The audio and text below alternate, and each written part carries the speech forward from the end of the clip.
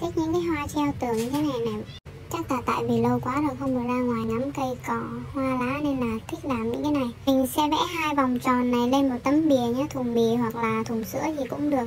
Sau đó là mình vẽ giống như kiểu cái bánh xe này. Và dùng dao dọc giấy để mình à, rọc ra như thế này cho nó đẹp chứ. Rồi mình dán vào đây và tô màu đen. Về phần làm lá thì đơn giản. Và mình chỉ cần gấp vào những cái này thôi, mình cắt hình cho nó dài dài như thế này này rồi sau đó là mình sẽ cắt lá đậm với lá nhạt luôn nhá. Mình sẽ dán chúng lại như thế này, dán cái đuôi lại. Đó, mình lấy cái keo á, mình dán lại hoặc là xuống bánh keo gì cũng được. Rồi bây giờ mình sẽ làm cái ống cây nhỏ thôi. Để bắt đầu mình gắn những cái lá sen kẽ này vào. Vừa lá đậm, vừa lá nhạt thành một cái cành lá như thế này. Mình làm khoảng chừng ờ, sáu bảy cành như vậy. Rồi bây giờ đến làm hoa. Hoa thì khá là đơn giản mình chỉ gấp mình làm cái kiểu hoa sáu cánh như này này gấp hình tam giác gấp lại gấp cơ bản thôi. Và cánh thì mình cắt hình chính cánh tim hoặc là cánh tròn gì đó tùy các bạn thôi ha. Và mỗi một hoa như vậy mình sẽ cắt uh, hai bông cánh uh, tim như thế này.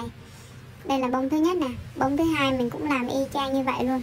Cái này là mình sẽ tua hơi nhanh ha mình chỉ làm chậm một cái kia thôi. Bởi vì nó giống nhau và cái này mình sẽ cắt ra một uh, đường này và mình dán hai cánh lại với nhau mình dùng kéo để ờ, bẻ cong cánh lại và sau đó gắn lại như này. Rồi bây giờ chỉ làm thêm một cái nhụy nữa là xong. Nhụy là mình sẽ gấp cái giấy màu này mình cắt nhuyễn ra cuộn tròn lại. Mình cho nó xòe ra như thế này. Đó giống như làm hoa hôm bữa đó. Và mình gắn vào và mình làm hoa màu vàng màu đỏ màu cam.